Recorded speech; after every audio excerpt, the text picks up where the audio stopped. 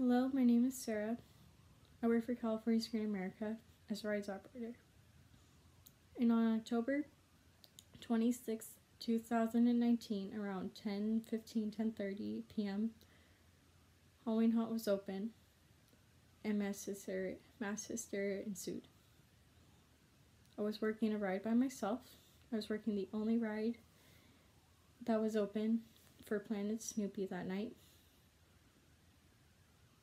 And all of a sudden, I see this mass group of people running towards the back of the park where I also work. I work multiple rides in the back of the park. And to tell you the truth from what I've heard from supervisors, from security, and from other employees that I work with in the park, there was no active shooter. I want to get that out of the way right now. There was no active shooter. There was no guns. I trust security. I trust the supervisors that I work for. I seriously do not believe that they would lie and say that there was no active shooter. Granted, this is not the first time that mass hysteria has ensued at Great America. Just this year, um, on July 4th of 2019, a gunman did open fire in, uh, not even in the park, but like at the front gates of the park. There was some fight that broke out. I do not know if anyone actually died that night. I pray no one did. But on this past Saturday, no one died. People de- were definitely shaken up. My fellow employees and I were shaken up, but no one was injured physically.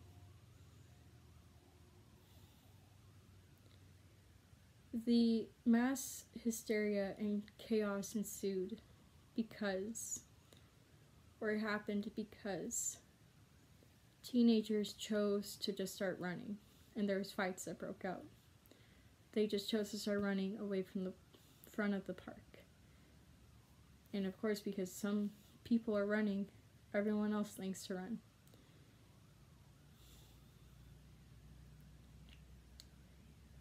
I'm sorry.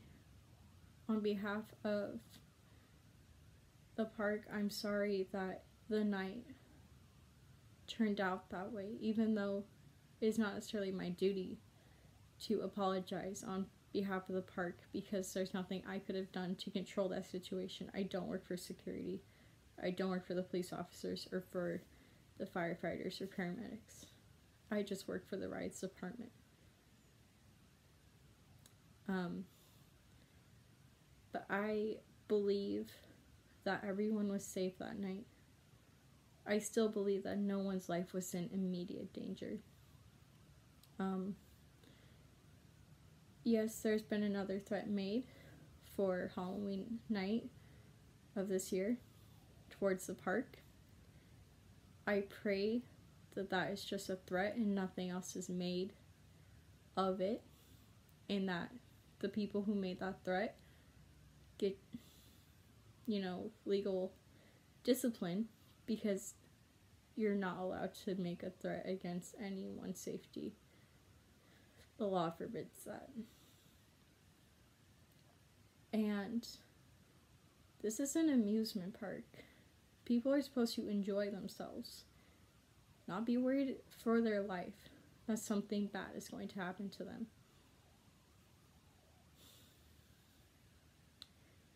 And I still believe that it was just some stupid teenagers and some stupid fights that broke out, and no one actually was in immediate danger. Um, all the employees that I spoke to said that they didn't hear like actual gunshots. They just excuse me, they just said that they saw a bunch of people running and they heard rumors about an active shooter in the park. But as far as I know, because of what I've heard from others, that is not the case. Um, I hope that if you were there that night, whether it be a guest or an employee working for the park, that if this was a very traumatic experience for you and it's hard to try and recover from it, that you go seek some professional help, some licensed help. Because PTSD can occur from an experience like this. Um, all the employees that worked for the park received an email on October 27th at 2:12 a.m. The email basically says that no one in the park was actually in danger that night. Security was I guess able to take care of the fighting, the fights that broke out and um, that the park never actually closed that night. A few of the rides did stop running for the time being because the employees had to go backstage and had to help get the guests out of like food warehouses and cafeterias for the employees and for games warehouses. And there was also guests that chose to jump fences and get into restricted areas to get away from the massive group of people that were running towards the back of the park. If you were a part of the people that were fighting, or if you were a part of the group of teenagers that decided to start running just to create mass hysteria, we do not take this lightly. It is not funny, it is not a joke and it should never have occurred in your mind that this was a good thing to do. If you seriously thought that this was a funny thing to do and it was just a way to waste time and waste other people's time, you were wrong for choosing to do something like this.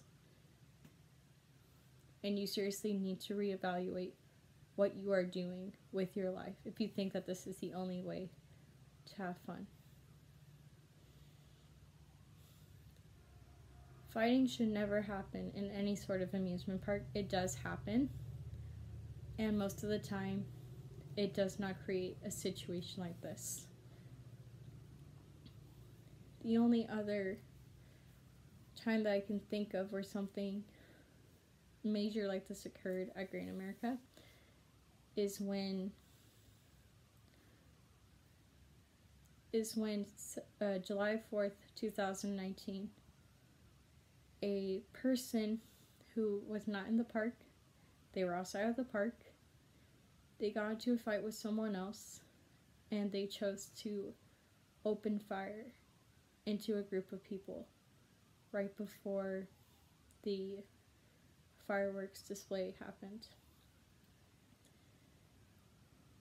I was not working that night. I just started working back in August. I only heard about it on the news and I never was injured from that night. Physically, I'm not injured from this previous Saturday night either. And I don't think anyone was actually like killed or seriously injured physically from this.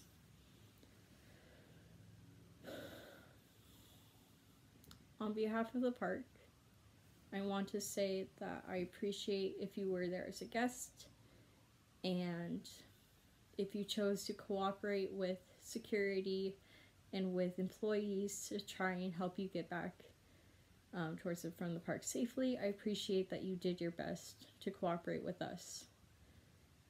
Because as employees working in rides or working for the haunt or working for games or entertainment or food, we did not prepare for this. There's no way for us to have prepared for a situation like this.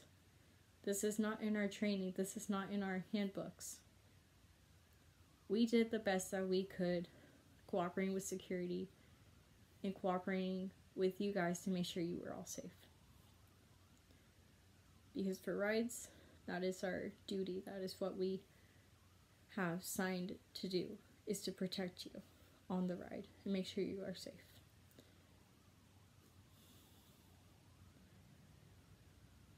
So thank you for choosing to watch this video about what was actually rumor compared to what was actually true.